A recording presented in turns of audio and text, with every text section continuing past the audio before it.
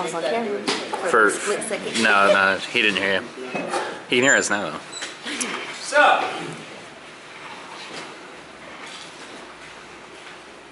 Going to set this.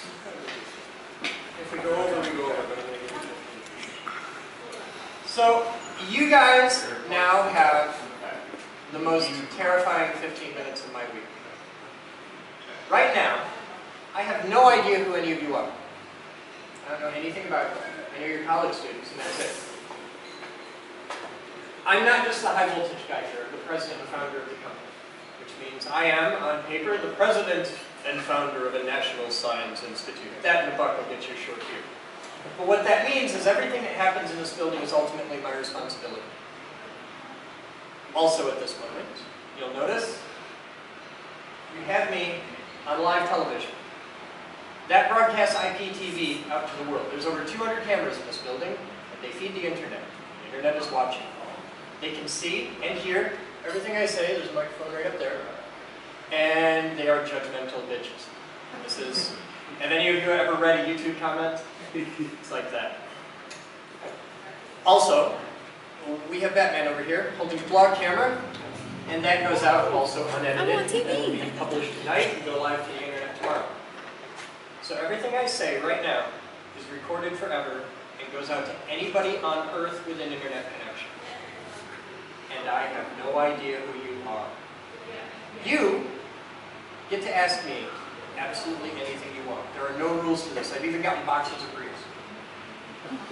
The reason for this is really simple. There's 2,200 nonprofit organizations in the city of Grand Rapids. 2,200 nonprofits. All of them are monitored and tracked by GuideStar. GuideStar is the big, giant monster of the nonprofit world. They're like consumer reports with teeth. Out of 2,200 nonprofits in the city of Grand Rapids, there are exactly three that hold a GuideStar Platinum rating for accountability and transparency, and we're one of them. Everything in this building happens on camera. There are no secrets.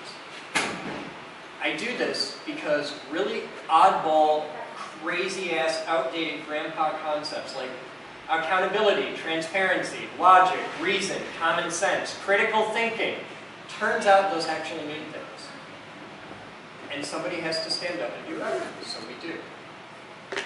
You are an uncurated audience. You could have agendas, you could have tuned into any one of the thousands of Geek Group videos where I have done this every single week for years.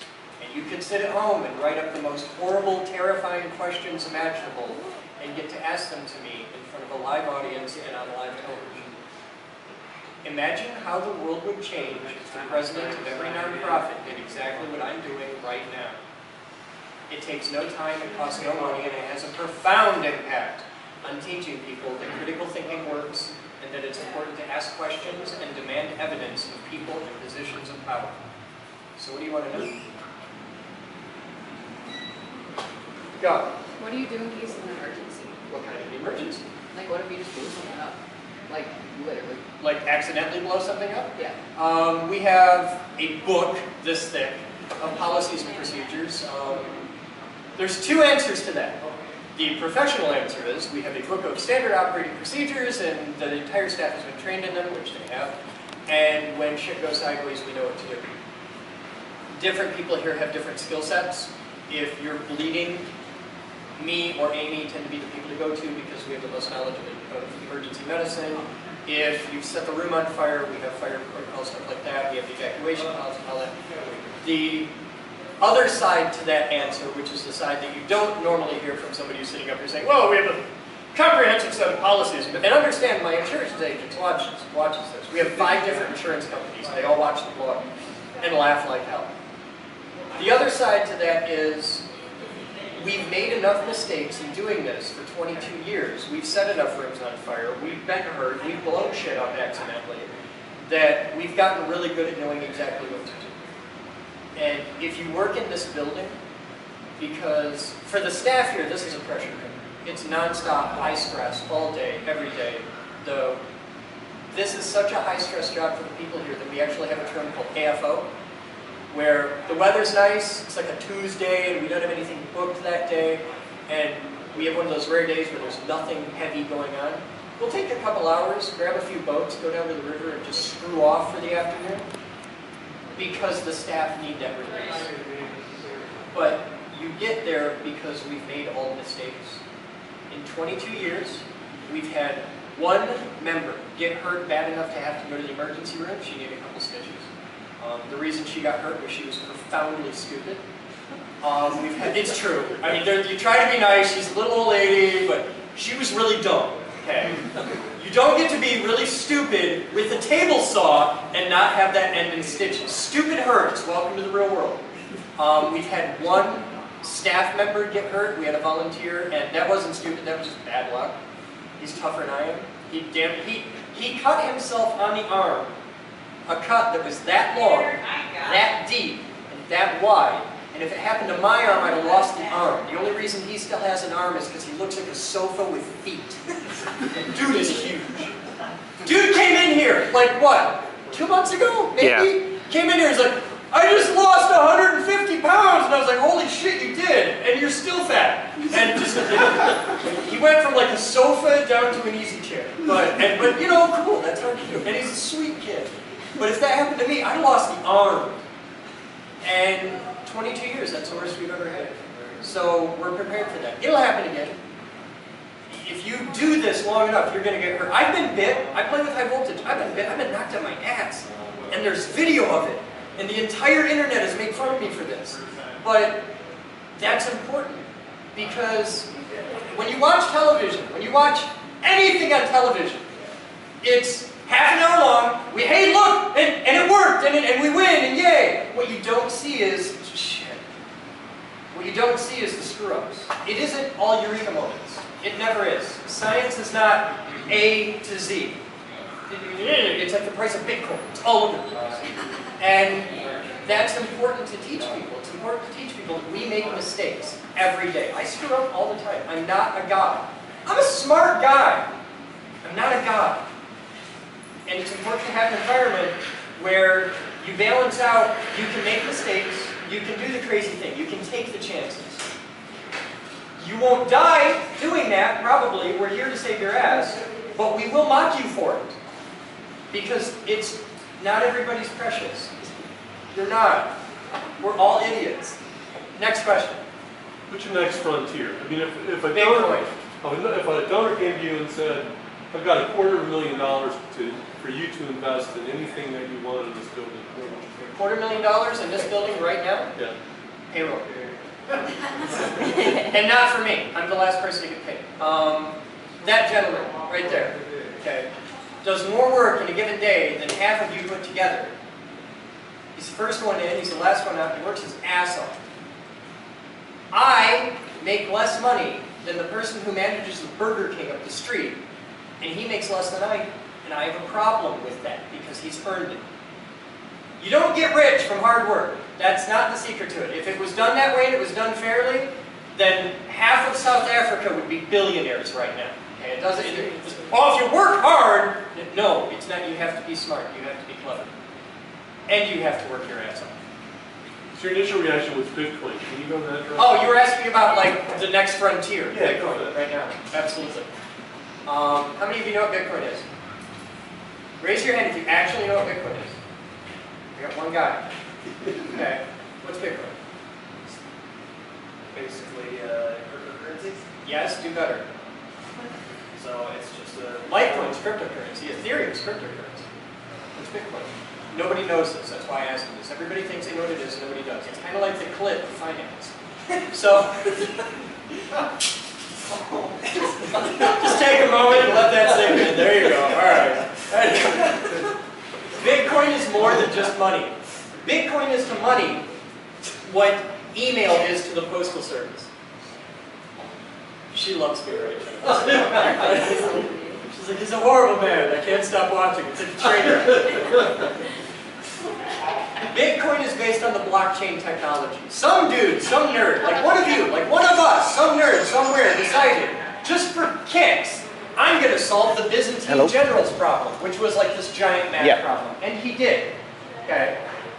And it turns out this math problem had a practical application. Are you shooting video of me right now? No. Okay, because if you are, that's okay, but if you're shooting Okay. vertical video, I'm going to mock you. Stills, okay, stills are fine. Okay.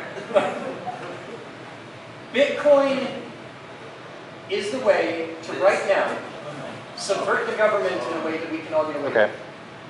Bitcoin allows me to send any of you any amount of money anywhere in the world instantly, outside of a central bank, outside of a fiat currency, outside of the control of any Okay. government, and to do it in a way that cannot, absolutely cannot be counterfeited. That, that that's fine. You Can can give me a steal number? Bitcoin, you can rob the bank, but you can't counterfeit them, which is hilarious because you can make new ones in your house legally.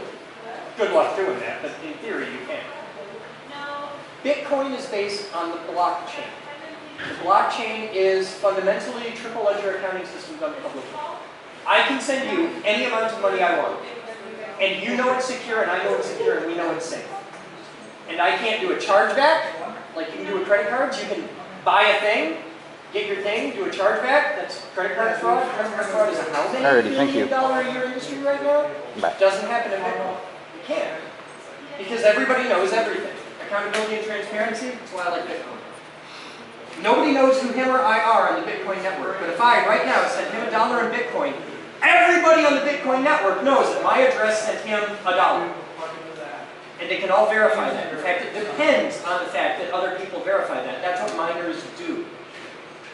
And here's the part that you care about, because I can sit here and talk about crypto theory for an hour, and 10 minutes in, every eye in the room is going to glaze over. But this is the part you care about.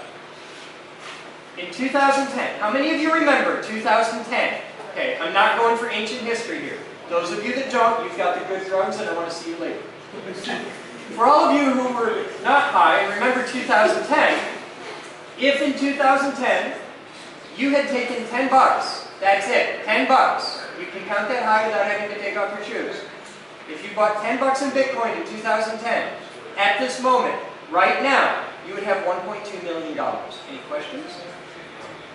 How would you like to have a million dollars and not actually have to go and do all that much for it? Buy Bitcoin. It's going up.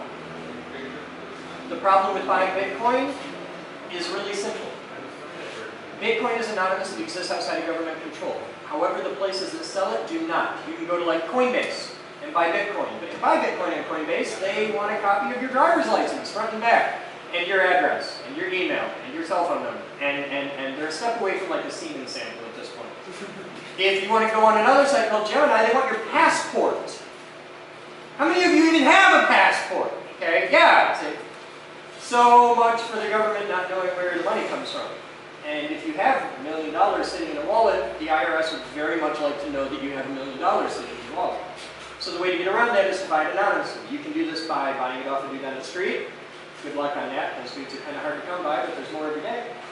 Or you can come to the Geek Group, and you can buy Bitcoins at our ATM absolutely anonymously, which is why the Geek Group has the first Bitcoin ATM in the city of Grand Rapids. Wrong. So that's the basics of Bitcoin. For more, there's a lot to read online and read it. But this is this is one of those emerging technologies that you really need to know about. Because nobody knows about it yet, except people who have lots and lots of money, and they're making lots and lots of money with it, and why the hell not get a piece of that pie? Next question. Give me a hard one, surprise me. There are no rules to this. I've even gotten boxes of brews. Go. So what happened when the high voltage lab got shut down?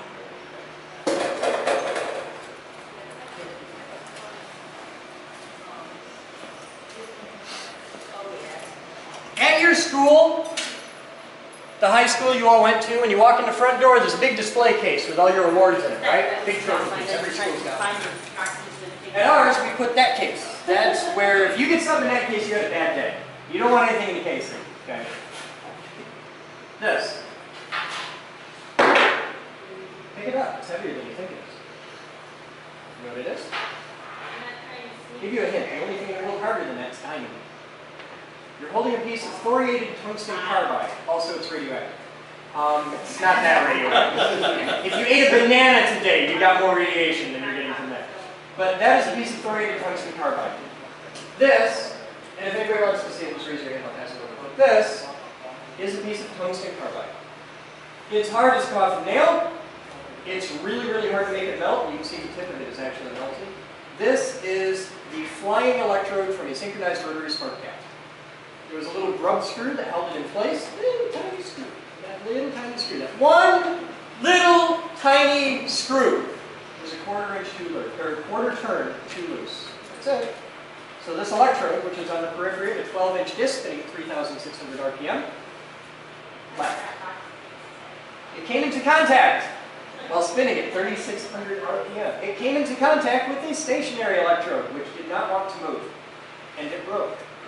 And this was slightly hotter than the surface of the sun when it left, and flew into what was at the time the largest MMC capacitor array built in the history of mankind, which happened to be made out of polypropylene, which I learned the day after that burns at 1,200 degrees.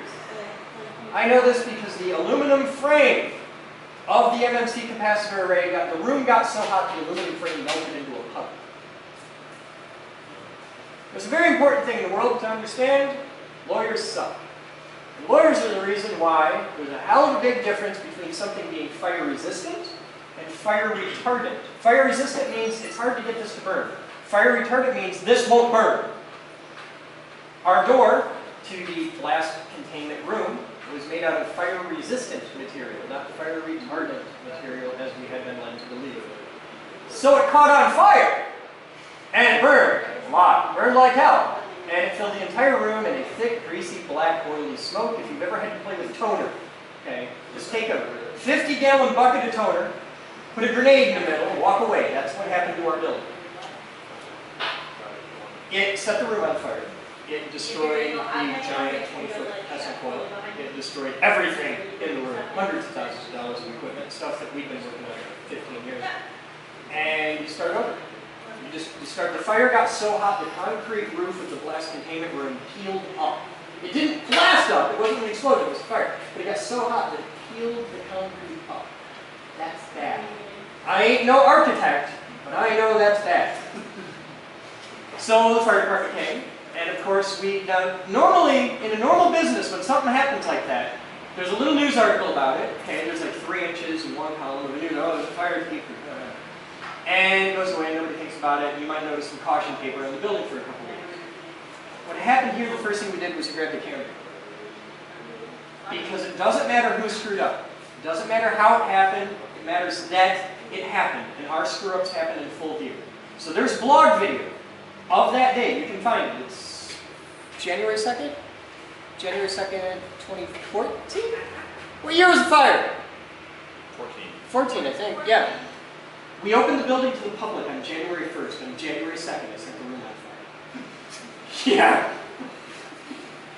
Fuck my life. and, and we shut the high voltage line down, done, for like a year and a half, two years. We're just getting back into swimming. And you start over. But we do this because it's important for me to teach guys like you that shit happens and it's okay to make mistakes. And you fall off the horse, you get back on. It isn't perfect every time. We screw up. And I keep that because that's why. That I earned that.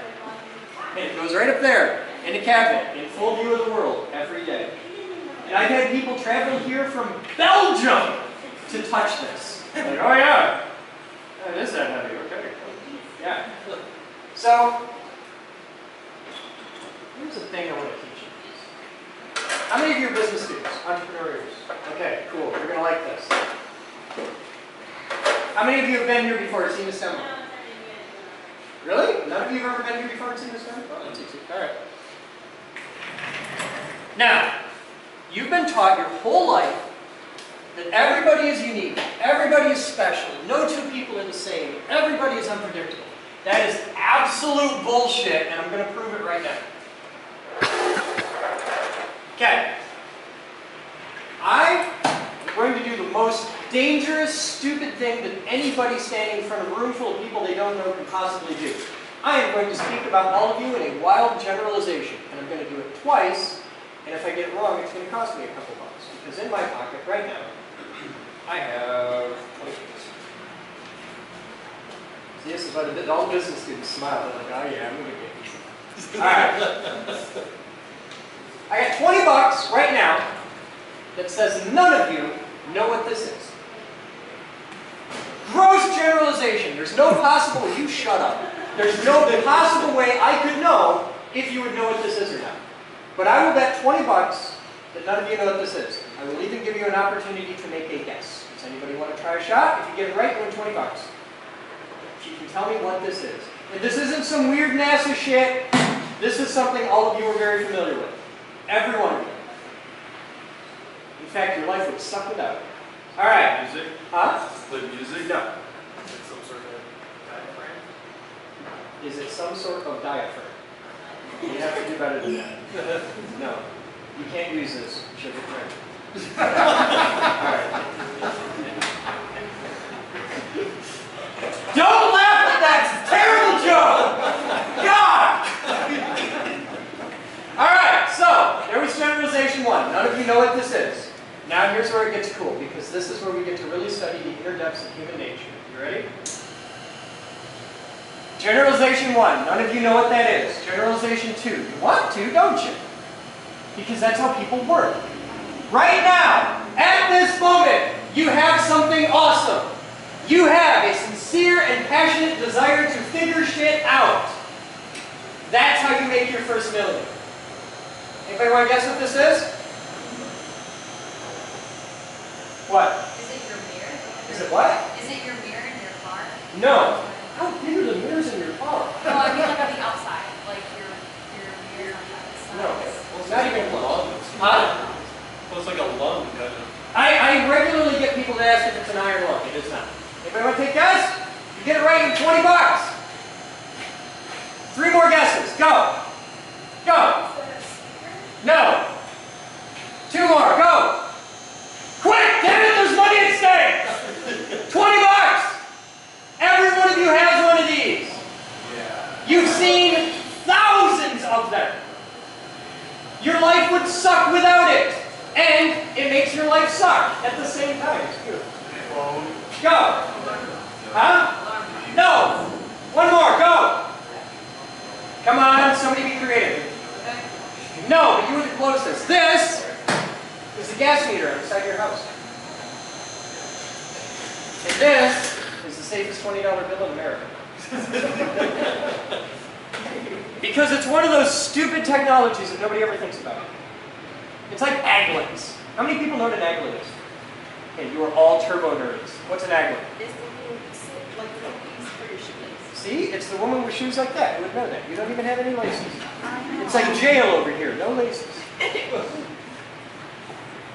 You don't have to be the person that invents the next cell phone and cures cancer. Be the dude that invents the next aglet. It's good enough. I want to make tenth of a penny a piece on every aglet that gets sold by Nike. You know what my ultimate dream job is? well, there's that. I accidentally got a degree in printing and graphic arts. I signed up for media production, they screwed up putting me in printing, and the teacher was awesome, and I stuck it out and liked it a lot. And I learned something. I learned what the ultimate dream job is. I want to be the guy who owns the company that prints the wrappers for Wonder Bread. Best job ever! But he sells a bajillion of them. And people buy it, and two days later throw it away, and they need another one. I want to be the guy that prints Wonder Bread wrappers. This is a great job. Nobody ever thinks about this guy. He has no stress. He's never going to end up in the papers. He has a completely forgettable life. And he has more money than God. This is a good job.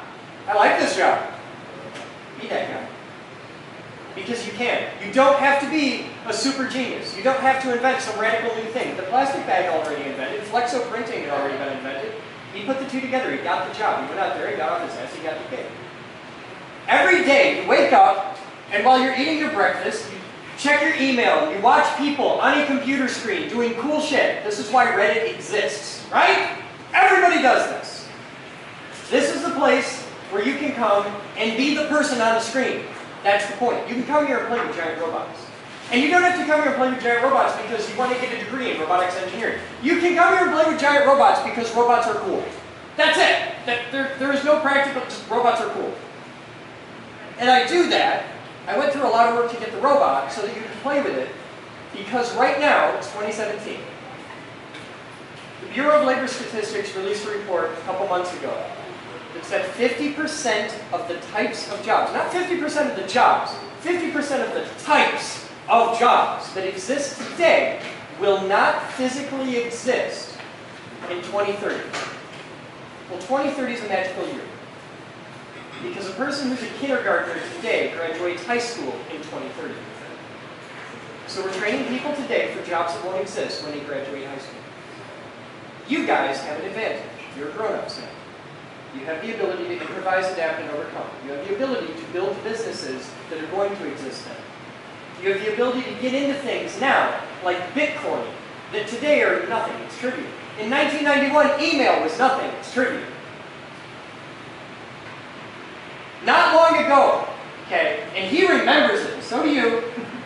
Okay, there was a time when on the cover of Time magazine they said, Google is going to go public. It's going to cost 50 bucks a share. And it says, is Google worth 50 bucks a share? And a lot of people went, "Not really? Fuck. Take a look at what Google sells for today. I'm sure it's split a few times. Look around at what's emerging. And then figure out what you can do to jump on it. You don't have to invent something, you just have to make it better. Who invented the steam engine? I will give you 20 bucks if you get this right. Who invented the steam engine? Really? Really? We, you're an engineer! For God's sake, really? What's the unit of power? Watt. Okay, who invented the steam engine? Watt. You're wrong. but everybody thinks he did. Everybody thinks James Watt invented the steam engine. He didn't. James Watt was no less than the sixth person to invent the steam engine. The first, by the way, was Hero. He was a Greek about like back with Jesus. Okay, we're going back that far. James Watt was a janitor in a school, really. And they had the Newcomen steam engine. He was the fifth, by the way. They had the Newcomen mine-pumping steam engine there. James Watt, who didn't know shit about steam engines, had probably never seen one, had a little model steam engine on a shelf in high school there. And it broke. It didn't work. And the science teacher came out and said, can you please fix this? And he was like, all right. So he takes the whole thing apart. He puts the whole thing back together again. It works. It works better than it ever has. And he has a whole pile of real important looking shit left over. So he threw that away. It became the Watt engine, which was way more efficient than the Newcomen engine. Be the guy. You can. And for all of you entrepreneur students, I want one thing to keep you up tonight. You just toured a place. You just came in and saw all our secret sauce. Where there are more tools that you can use today than Home Depot on Alpine has for sale. And you can use all of them. And it's 20 bucks a month. That's less than you spent on Taco Bell this month. Okay? Work it out. You eat fast food like once a week, it's about five bucks. Guess what? You spend less money here. So you have all the tools. You don't have to know how to use them. We will teach you how to use any tool in this building. So the only thing at this point, standing between you where you are now and you running your own company, is whatever bullshit excuse you keep telling yourself. Because I just got rid of all the other ones. You have the tools, you have the space, you have the resources, you can afford it as a broke college student. There are no more excuses. You can do this now, or you can spend the rest of your life telling somebody else, you know, hi boss, how you doing? And watching the world on a TV screen. It's your call. Any questions? Cool, thank you. Now go do something for God's sake.